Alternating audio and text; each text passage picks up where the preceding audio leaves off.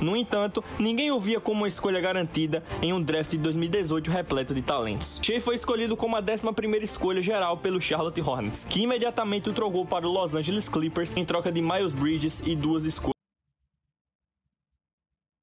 Meus amigos, terminou.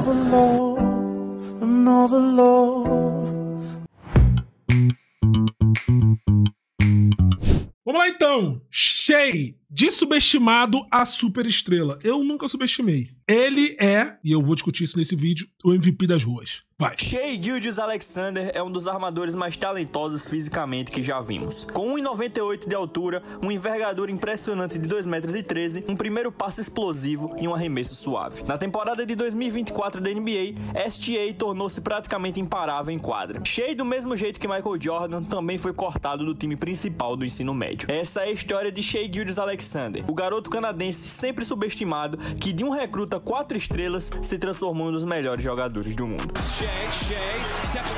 Ele é muito bom.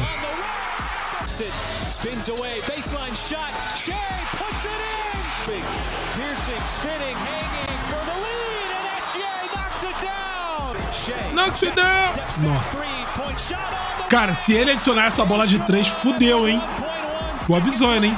Shea Você foi avisado. nasceu em Toronto, filho de Von Alexander e Shermaine Gilgeous, uma ex-velocista de Antigua Barbuda que competiu nos 400 metros nas Olimpíadas de 1992. Da mãe, Shea herdou o talento atlético e do pai, a paixão pelo basquete. Foi seu pai quem o introduziu ao esporte, ensinando os fundamentos e levando para assistir jogos dos Raptors, onde ele admirava Chris Bosh. Desde cedo, Chris Shea se Bosh, apaixonou mano? pelo basquete, sempre praticando e arremessando em uma cesta montada no portão da garagem. Aos 10 anos, após sua família se mudar para Hamilton, Ontário, Shea entrou para um programa Ontário? local de basquete chamado You. Play Canada. Contudo, ele nunca foi considerado um prodígio do esporte. Aos 14 anos, Pô, falando em, falando em um Play Canada, ontem, estudando pro jogo do, do Golden State, eu caí numa página sobre Buddy Hilde e, pô, eu descobri que o Buddy Hilde é muito pica, né, mano? Com esses, com esses programas, assim, pra ajudar as outras pessoas, mano. Não, que negão bem brabo, mano. Irmão, ele tem muita coisa, assim, pra ajudar os outros. Tipo assim, clínicas, é doação de dinheiro, coisas em outros países, tá ligado? Ele é muito foda nessa questão, mano. Muito maneiro, mano. Até comentei algumas coisas dele ontem, mas não, não deu para fazer, não deu para falar tudo. Mas, porra, quando tem furacão, bagulho de de tempestade, essas coisas, ele sempre doa muito, muita grana do bolso dele. Ele tem umas clínicas assim, tipo, que ele mantém, tá ligado? Em outros países, também nos Estados Unidos. Trabalho beneficente. Esse, essa, essa, essa é a descrição.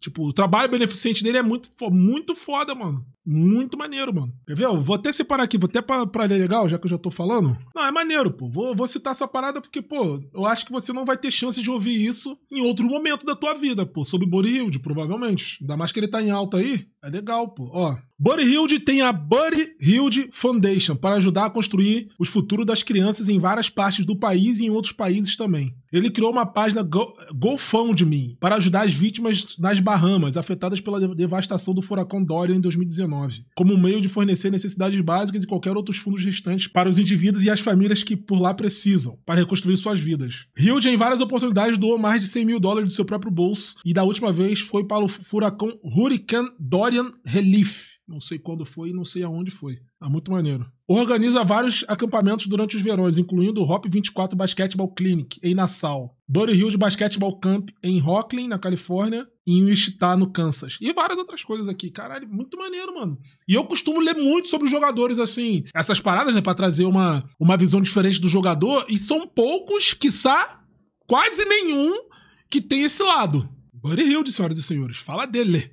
Ele não conseguiu vaga no time principal da escola, que deixou frustrado, mas também o motivou a treinar ainda mais intensamente. SGA começou a treinar individualmente com Dwayne Washington, treinador e fundador da Uplay Canada, e foi ele quem ajudou a moldar Shea no mestre do pick and roll que vemos hoje. Washington adotou uma abordagem mais cerebral com Shea, passando muitas horas analisando vídeos e depois aplicando os conceitos em treinos práticos na quadra. Além dos treinos com o time, Shea também fazia esses treinos particulares e intensivos com o coach Washington. Shea tinha outro adversário formidável incontestável que sempre o desafiava em partidas de um contra um. Seu primo, Nikhil Alexander Walker, atualmente jogador do Minnesota Timberwolves. Nikhil era apenas dois meses mais novo que Shea, o que levava os dois a competirem intensamente tanto dentro quanto fora das quadras. Nos últimos anos do ensino médio, os dois se transferiram para Hamilton Heights Christian Academy, no Tennessee, com o intuito de enfrentar uma competição mais desafiadora e melhorar suas habilidades no basquete. Mas, naquela época, se alguém tivesse que escolher qual dos dois chegaria à NBA, a maioria provavelmente apostaria em Nikhil Alexander Walker. Quando Shea chegou a Hamilton Heights,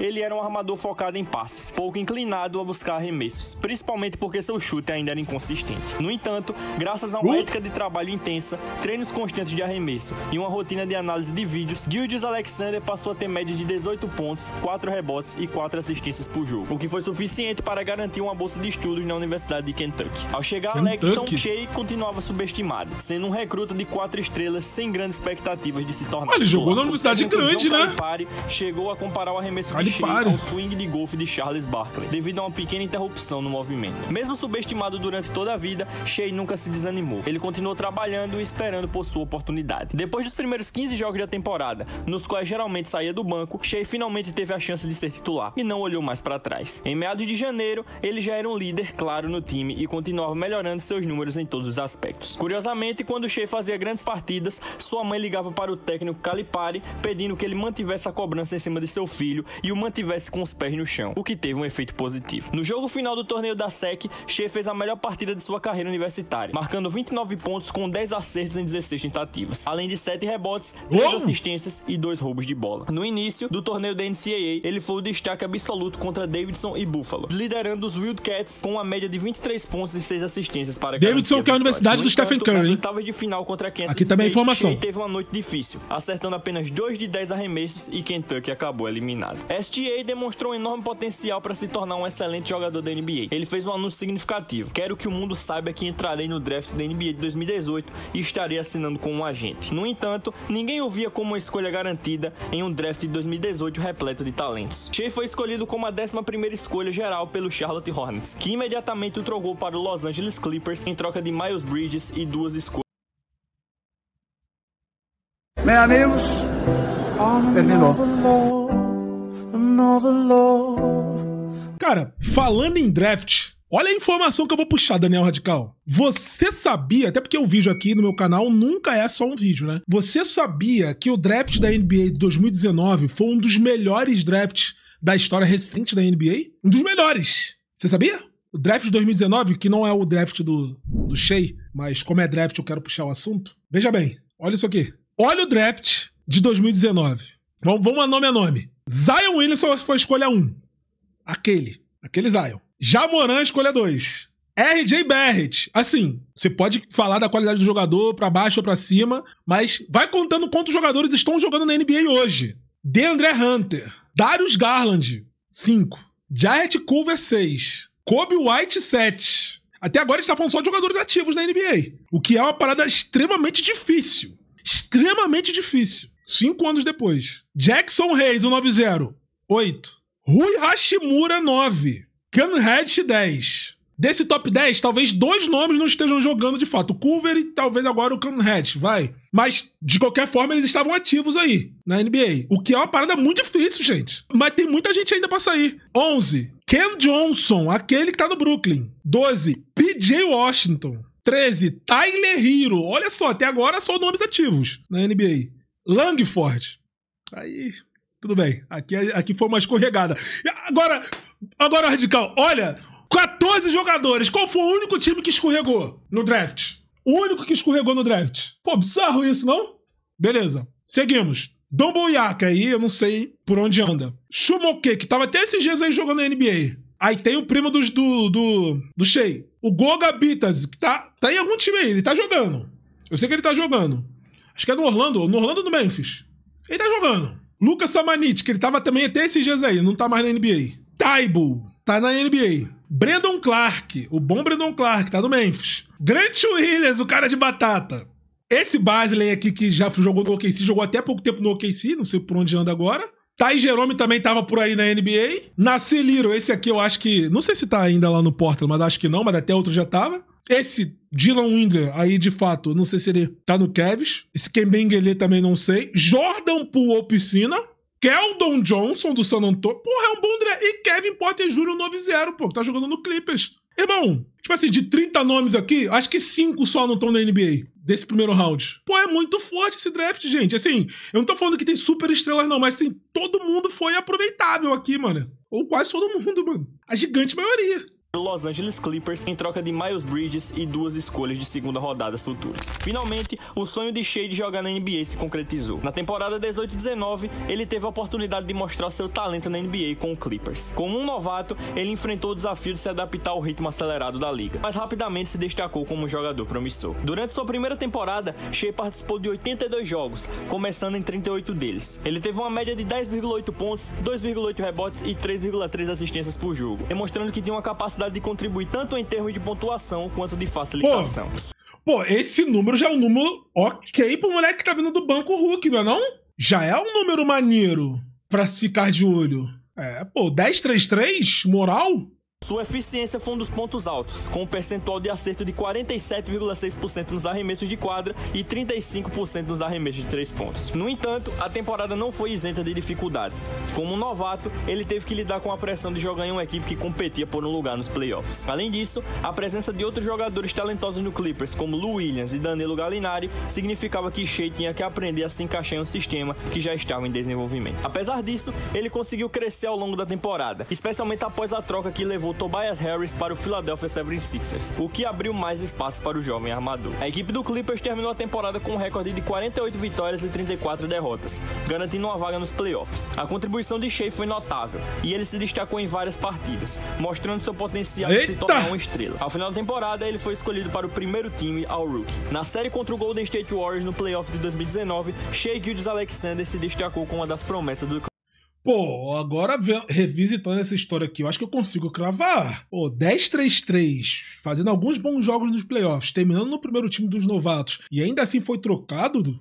10 pontos que ele fez, 3, 3 assistências e 2.8 rebotes. Pô, é um número ok pra um Hulk, mano. Terminou em sexto na briga pelo novato do ano Clippers. Mesmo sendo novato, ele demonstrou grande maturidade e habilidade sob pressão, tornando Na época eu gostei da troca, eu ainda acho que a troca foi boa hoje. Ele se destacou tanto na defesa quanto no ataque. Ele exibiu sua capacidade de criar jogadas, pontuando Quem não acha e seus companheiros a encontrarem boas oportunidades de arremesso. À medida que a série avançava, sua média de pontos cresceu e ele se tornou uma opção confiável, especialmente em momentos críticos. Um dos pontos altos de atuação de Shea foi sua eficácia nos arremessos. Ele manteve um percentual elevado de acertos, o que foi crucial para o Clippers em jogos onde a equipe enfrentava dificuldades ofensivas. Além disso, ele teve um papel importante na defesa, utilizando sua envergadura e agilidade para neutralizar jogadores de destaque do Warriors, como Stephen Curry e Klay Thompson. Em suma, a contribuição de Shea na série contra o Warriors foi um ponto decisivo em sua trajetória. Ele não apenas provou seu potencial como futuro grande jogador da liga, mas também aprendeu lições essenciais sobre como atuar sob pressão, construindo uma base sólida para o seu crescimento na NBA.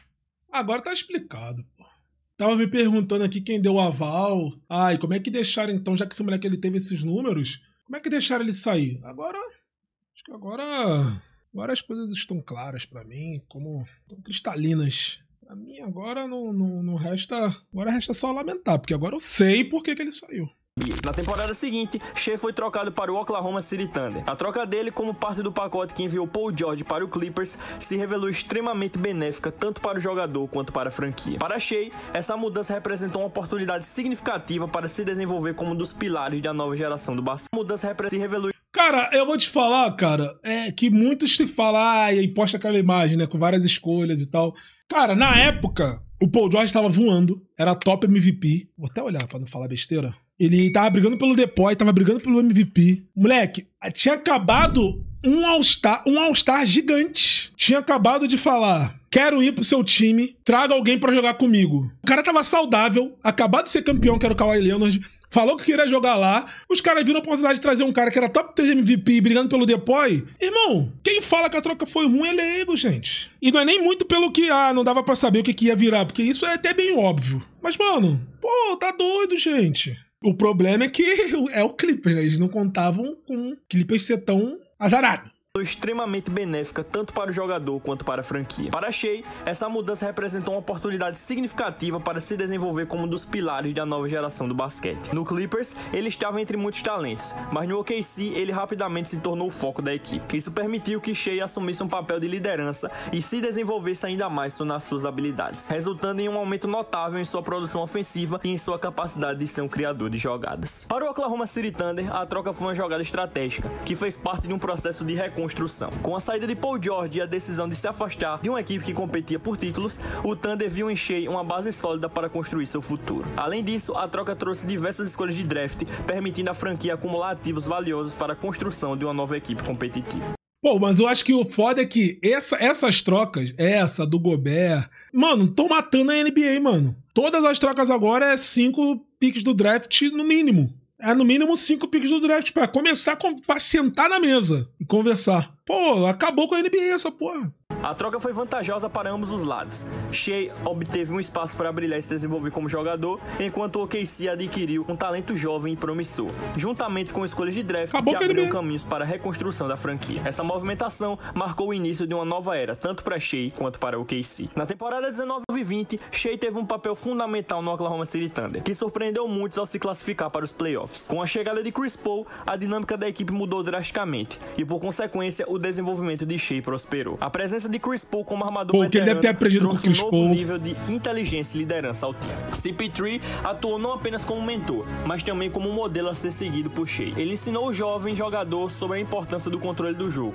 do posicionamento adequado e da leitura de defesas adversárias. Porra, começou a aprimorar sua capacidade de fazer jogadas e tomar decisões mais rápidas e eficazes. Ele também aprendeu a ser mais eficiente em situações de clutch, algo que Paul fez Pô, olha isso aqui, filho. O maluco aprendeu com dois gênios, pô. O maluco aprendeu com dois gênios. Como é que não vai aprender basquete? Como é que não vai virar MVP, gente? Pô, dois gênios. Simplesmente Dennis Schroeder e Chris Paul, pô.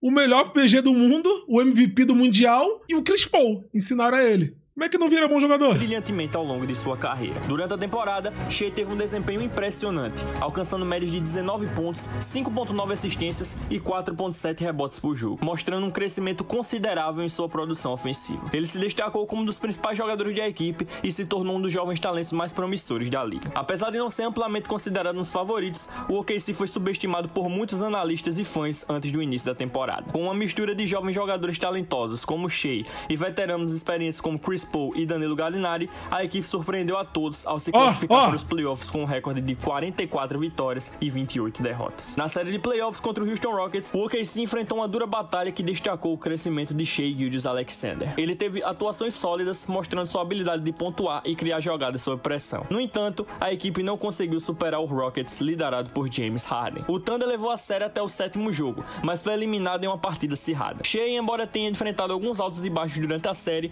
demonstrou potencial e a capacidade de se destacar em momentos críticos. Sua performance serviu como indicativo positivo para o futuro da equipe. Nas duas temporadas seguintes, Shea continuou a mostrar seu talento, mas enfrentou desafios significativos, principalmente devido às lesões. Na temporada 2021, ele teve médias impressionantes de 24.5 pontos, 5.9 assistências e 4.7 rebotes. Caralho, ele é muito entanto, bom, sua gente. campanha Caralho. foi afetada por uma lesão no pé, que o forçou a perder 19 fã. jogos ao longo da temporada. Apesar de tá seu desempenho individual, o OKC permaneceu em um processo de reconstrução, tá terminando a temporada com um Porra, a gente tá falando só dos maiores do basquete ensinando ele, mano. Como é que o cara não vai virar bom jogador, gente? Não tem como. Porra! De 22 vitórias e 50 Como? derrotas. Na temporada 21-22, Shea enfrentou mais problemas com lesão, que limitaram seu tempo em quadra. Ele ainda assim conseguiu médias de 24.5 pontos, 5 assistências e 5 rebotes por partida, mas só participou de 56 jogos. O Thunder continuou em um período de transição, focando no desenvolvimento de jovens talentos e acumulando escolhas de draft para construir um futuro promissor. Esses desafios, tanto para Shea quanto para a equipe, foram partes fundamentais do processo de amadurecimento e reconstrução do OKC. Na temporada 22-23, Shea Gildes Alexander deu um salto significativo em seu desempenho, estabelecendo-se como um dos melhores jogadores da liga. Moleque, eu sou muito fã dele. Pô, eu, eu acho que dá pra cravar que ele é um dos jogadores favoritos meus na NBA hoje, mano. Top 3. Top 2, se pá. Eu sou muito fã dele, mano. Eu adoro o estilo de jogo dele, mano. E ele joga nos dois lados da quadra, mano. É no ataque muito na defesa, tá ligado? Impressionante, de 31.4 Ele joga muito na defesa. 5 assistências e 4.8 rebotes por jogo, ele se destacou não apenas pela habilidade de pontuar, mas também pela capacidade de criar jogadas e liderar sua equipe. Seu jogo evoluiu de um jovem promissor para um verdadeiro superstar, recebendo reconhecimentos em forma de seleções para o All-Star Game e prêmios individuais. Entretanto, a ausência de Chet Holmgren, o segundo escolhido no draft de 2022, devido a uma lesão que o afastou da temporada, teve um impacto notável no desempenho geral do Oklahoma City Thunder. Holmgren era visto como uma peça-chave para o futuro da equipe, e sua falta limitou algumas das opções táticas do time. Apesar desse obstáculo, o Thunder conseguiu se destacar na Conferência Oeste, terminando a temporada regular com um recorde de 40 vitórias e 42 derrotas e garantindo uma vaga no play-in. No primeiro jogo, o OKC enfrentou o Pelicans, e Shea deu uma aula de basquete no jogo, marcando 32 pontos e avançando para a próxima rodada, onde enfrentariam o Minnesota Timberwolves. Esse estilinho dele também meio, meio 2K, tá ligado? Com o sleeve na perna. Headband. Vocês já perceberam que eu jogo com esse sleeve na perna por ele, né? Já tem uns, uns bons tempos isso aí. Só com uma perna, só com o sleeve.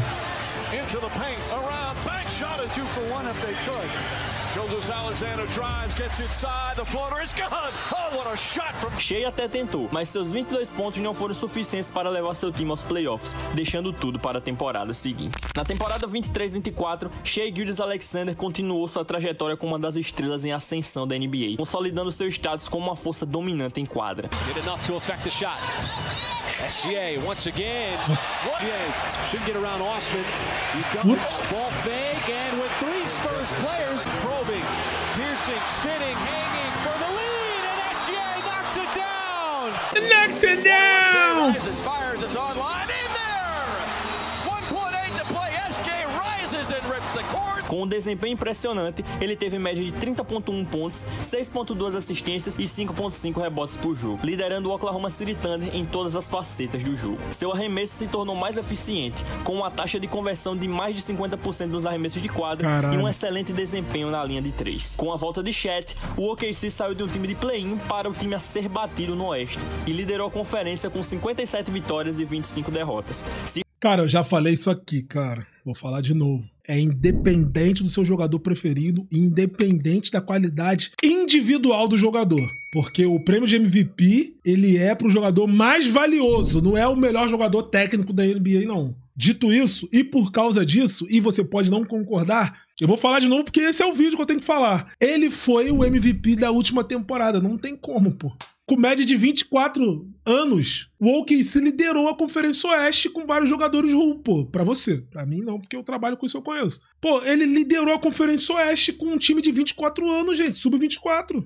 Não era o atual campeão, não era o atual time que jogou a conferência, a final de conferência, não era um contender que ninguém dava como contender, não tinha All-Star, não tinha nada, gente. Tipo assim, se três jogadores do OKC passar por você no shopping, mano, no Botafogo pra shopping você nem reconhece, tá ligado? E os caras lideraram a conferência, mano. E ele, e agora vamos falar individualmente. Ele teve esses números que falou no vídeo agora. Porra, ele, ele, ele brigou pelo MVP, foi top 2 MVP, brigou pelo Depoy, brigou pelo Clutch of the Year, ou seja, ele joga muito bem no final dos jogos, levando o time dele à vitória. Porra, foi pro All-Star. Tipo assim, ele tinha narrativa e ele tinha qualidade individual, mano. Tá ligado? E aí você vai me perguntar, pô, Jokic é um jogador melhor? Eu acho um Jokic um jogador melhor, né? Mais pronto, mais, mais testado, campeão. Mas a narrativa tava tudo do lado do, do Shea, pô. Ah, Jota, mas o prêmio de MVP é narrativa? Sim, sim. O prêmio de MVP é narrativa. É jogador mais valioso. Jogador mais valioso da NBA e pros seus times. Não é o jogador mais tecnicamente melhor, tá ligado? Pô, fiquei triste pra caralho porque ele não foi MVP, mano. Porque ele tinha tudo do lado dele. Tudo, tudo, tudo se estabelecendo como um dos melhores times da NBA. Naquele ano, Nikola Jokic venceu o prêmio de MVP, mas muito se discutiu se Shea era o verdadeiro MVP do ano, pois o que ele jogou foi algo fora da curva e surreal. Na primeira rodada dos playoffs, o OKC enfrentou o Pelicans vindo do play-in, e não teve outra. A série foi extremamente dominante do Thunder e seus capangas. Além da varrida, Shea terminou a série com uma média de 27.3 pontos, 6 rebotes e 5 assistências por jogo, avançando para a próxima fase, indo enfrentar Dallas Mavericks de Luka Doncic e Kyrie Irving. A série contra Dallas foi muito equilibrada e Graças a Deus Dallas ganhou. nível com média de 32.2 pontos por jogo, 8 rebotes e 7.3 assistências. Alexander wants to dance with Irving. Fade away. He's got it. Poke to the outside. Williams clears. Gilgis Alexander. The pull-up. It's there. SGA takes it at Hardaway. Oh, that's ridiculous! Shea Gilgis Alexander. Shea foi até o jogo 6, onde o Dallas acabou vencendo com um erro no final de Shea ao ser precipitado e fazer a falta em PJ Washington, que gerou os lances livres da vitória de Dallas. Apesar disso, a primeira participação desse núcleo nos playoffs foi bastante competitiva, e com certeza esse time promete ser o favorito no Oeste a brigar por título nos próximos anos da NBA. Em suma, a trajetória de Shea Gilgis Alexander é uma verdadeira inspiração que exemplifica como dedicação e trabalho duro podem transformar um jovem talento em um dos melhores jogadores da NBA. Desde seus primeiros passos nas quadras até se tornar o motor do OKC, Shea não apenas elevou seu próprio jogo, mas também liderou sua equipe em um processo de reconstrução emocionante. Com sua habilidade de marcar pontos, visão de jogo e capacidade de fazer jogadas decisivas, ele provou que é mais do que apenas um jogador promissor. Ele é uma força a ser reconhecida na liga. À medida que o Thunder avançava para os playoffs, as expectativas são altas e todos os olhos estão voltados para Shea. Sua história ainda está em desenvolvimento e será fascinante testemunhar até onde ele pode levar sua equipe e a si mesmo nos próximos anos. Cara, ele é muito pica, inegável. Eu acho que ele deveria ter sido MVP da última temporada, inegável. Eu não sei se ele vai brigar esse ano, porque ele já não é surpresa, né? O OKC já não é surpresa, ele já não é surpresa, aí já não tem esse fator narrativa do lado dele, que é sempre importante, né? Vamos ver. Veremos.